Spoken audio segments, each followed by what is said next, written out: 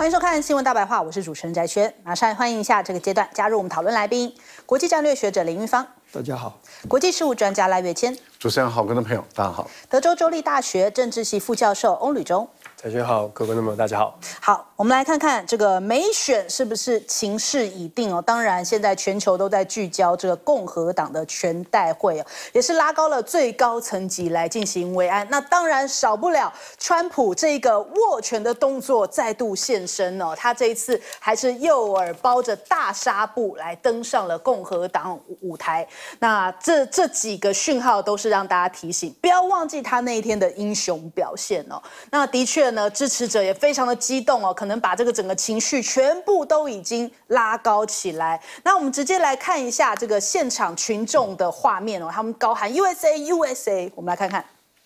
Please welcome the next president of the United States, Donald J. Trump.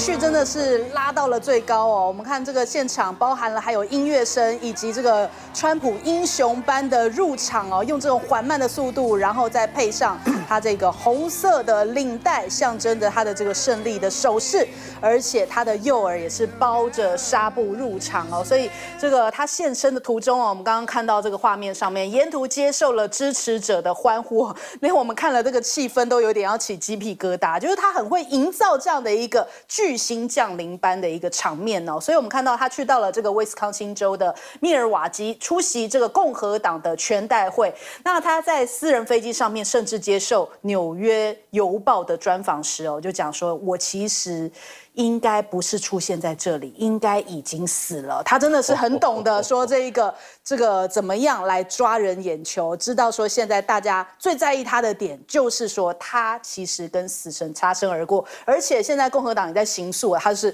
上帝这个天选之人这样的一个氛围，他真的是从这个鬼门关前这样子走了一遭哦。那当然现在要转换为他的这个支持度哦。呃，我们先来看看，大家都在还原说，的确，川普在遇到了这样的一个危急情况下，展现出来就一般人可能很难展现出的这种淡定哦，因为他过去也是这个军校背景出来的，是不是？对于遇到这种危难情况的时候，哎，更能够临危不乱，所以才让他这一举身世哦，不论是不是原本他的支持者，哎，很多人都因着他这样的一个英雄形象，开始好像觉得说，哎，对他的好感度。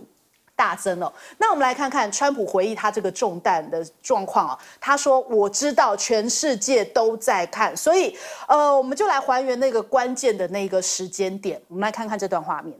If you want to really see something that said, take a look at what happened.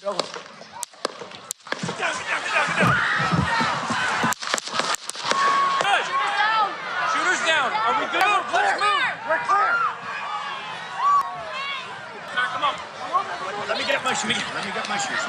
Got you, sir. Got you, sir. Let me get my shoes. Hold on your head. 好，我们看到这个川普，其实他在这个演讲的时候呢，就突然传出了这个枪响，那他即刻反应出来，就是蹲下来，然后特警就是立刻上来护驾。这样短短的五十六秒时间，他立刻做了一个判断，他说知道全世界都在看，所以马上站起来之后，比出现在这样子的一个握拳手势，而且就讲说让我穿鞋子。啊，对着这个群众，他这个非常关键两个动作，一个就是他说要穿上鞋子走，那第二个动作就是对着群众要安抚所有人的情绪，还说 fight fight fight。所以他说，当他意识到中弹的时候，看向群众那个瞬间啊，那一刻来自群众的力量，他们就站在那边，很难形容是什么样的感觉。但是我知道历史都在看，我知道这个呃全世界都在看，历史上面会有所评判，所以他做出了这样的一个展现哦。那不过今天也有看到相关的报道，就说他其实鞋子。并没有真的穿上，但是他在那。那个当下还是决定说，哎，我要先找鞋子，然后来离开。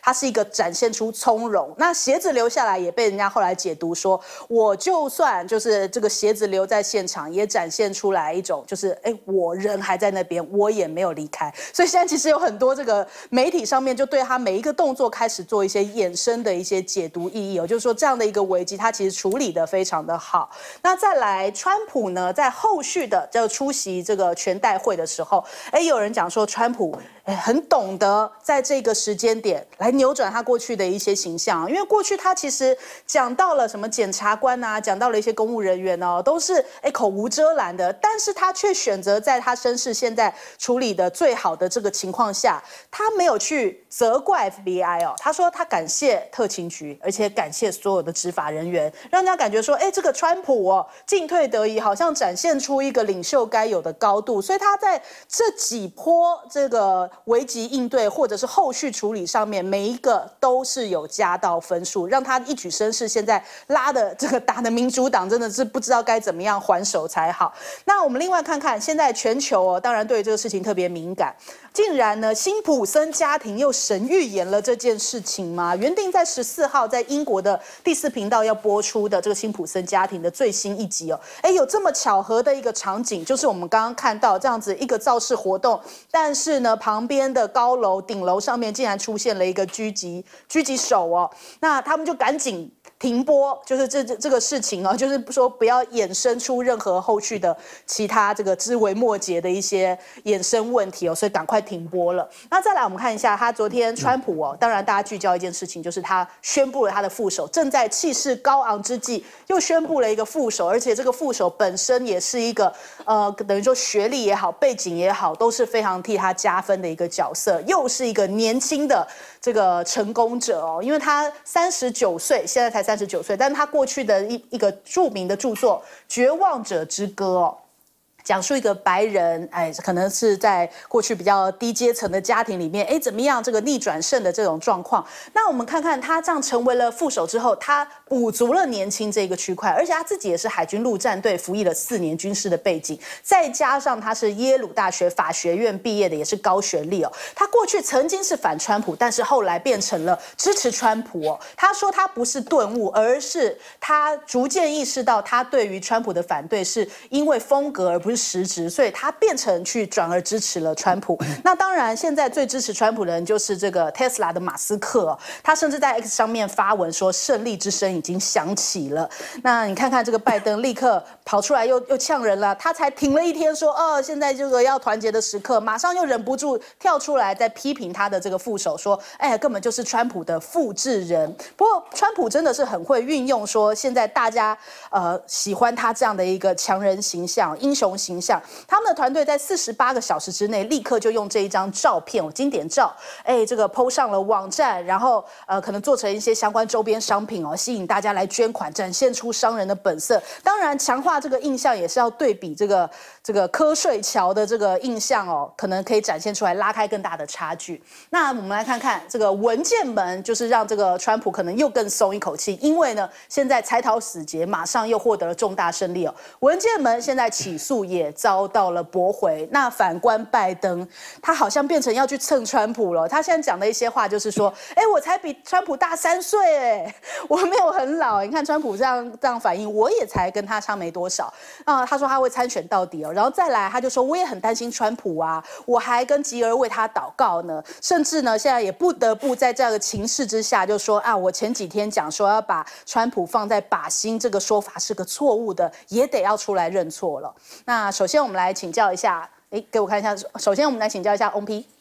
是我们其实看到了我们政治呃传播学的一个范本级的教材哦。事实上，川普在重呃遭受到呃攻击之后，他在手势上，他在言论上，他在他的表现，甚至刚刚翟轩你分享的，他在。呃，预习之前可能还是比较呃强势的，再去做对手的批判。可是预习之后，他非常清楚的知道他自己已经站在顺风的一方，整个气势是领先的，马上就开始扭转，马上就展现他的高度，强调的是现在美国要团结。所以，我们说在政治传播学上，这是一个范例级的教材。那也不得不说，不管你喜欢川普还是不喜欢川普，他的表现确实有一点点异于常人。因为在中弹之后，马上有这种沉着冷静。也许刚刚你。提到了他的军校的教育是有一点关系的。再来，我们看到的是川普，其实今天最大的新闻是川普选了副手，这个副手又再次的可以说是痛击了拜登的痛点，也就是年纪。因为川普强调的是，我的副手选三十九岁的潘呃 J D Vance，这个 J D Vance 在美国事实上他有一定的声望，尤其是在所谓的 Mega 或者是共和党的传统的支持者当中，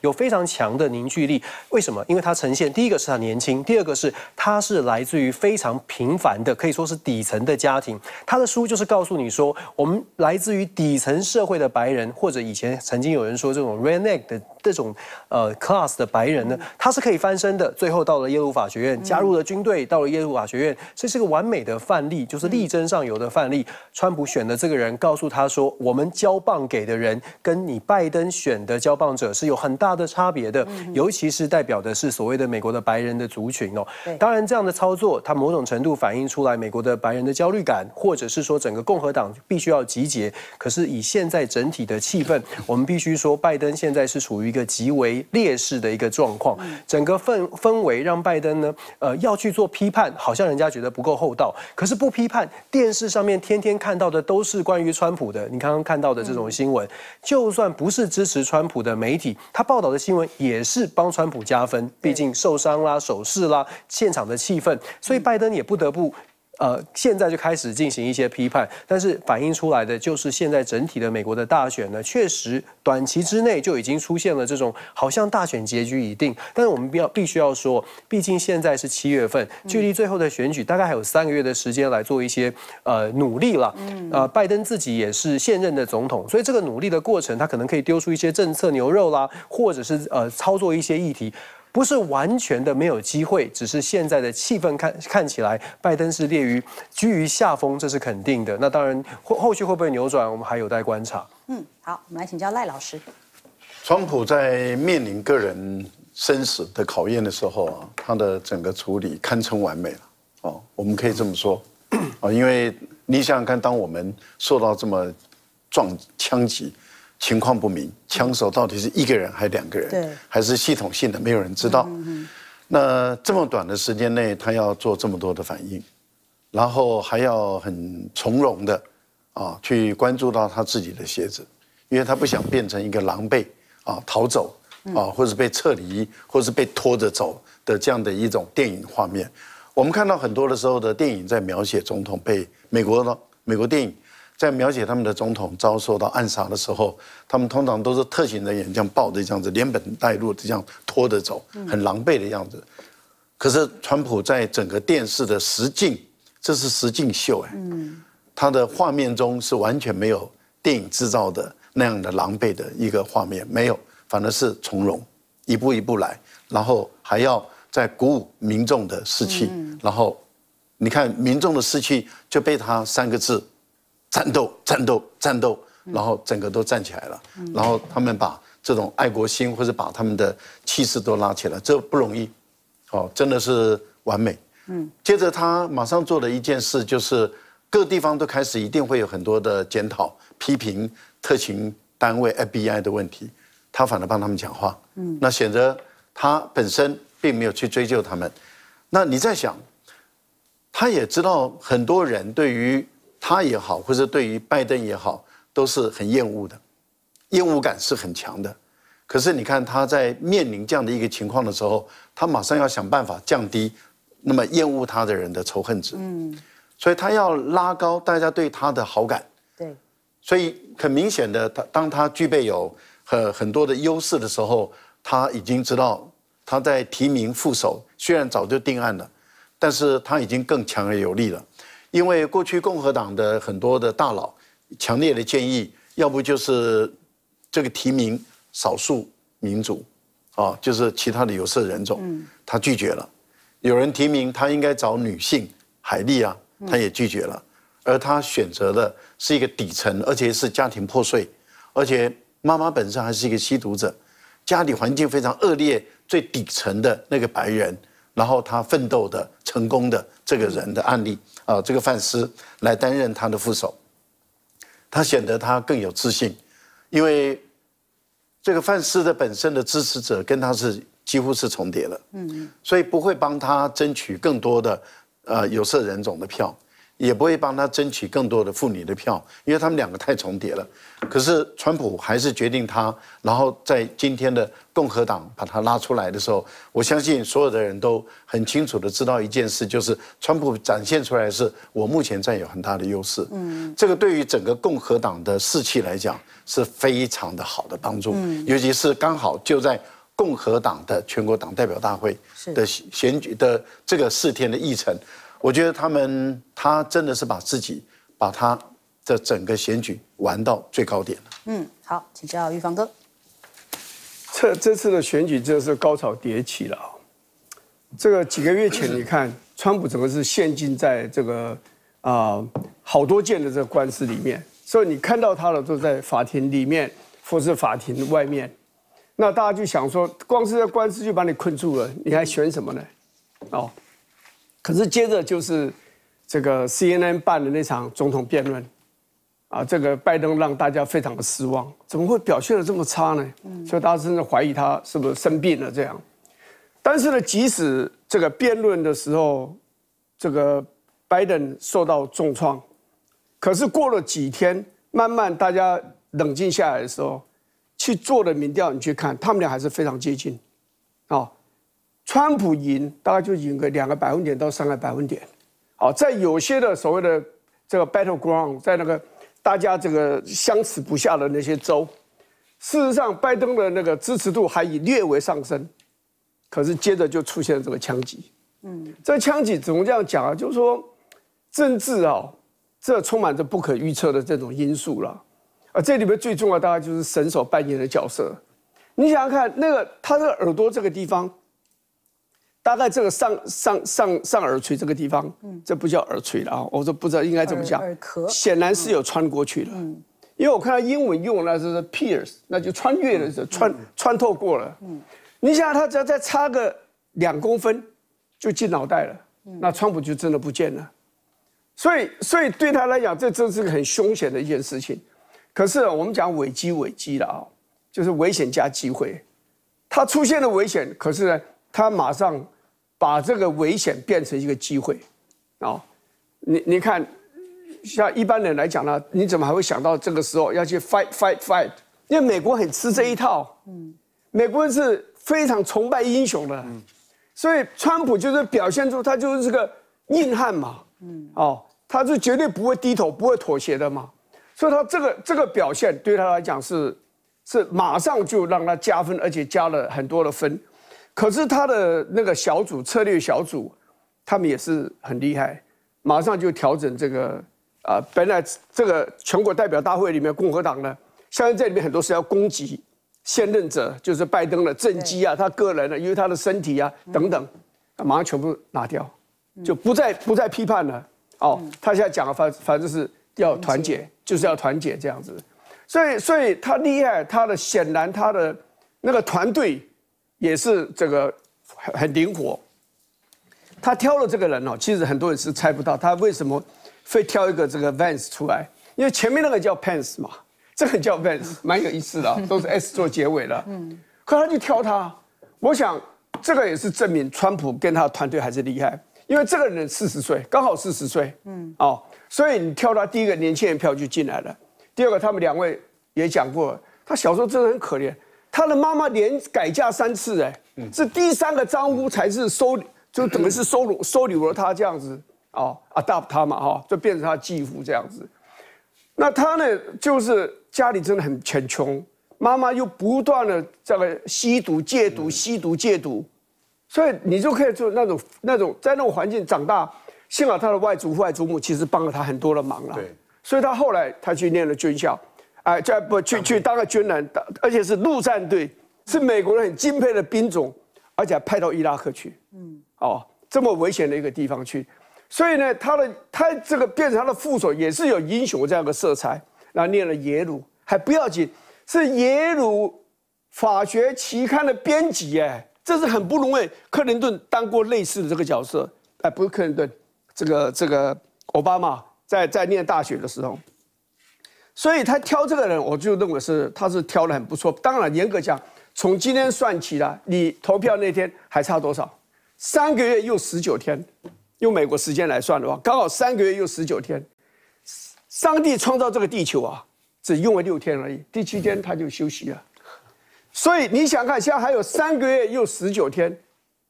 只要一件事情发生，很可能又要重新再洗牌一次。所以我我的感觉就是说，我们还要看呢，但是目前只是说到目前，显然川普是反败为胜，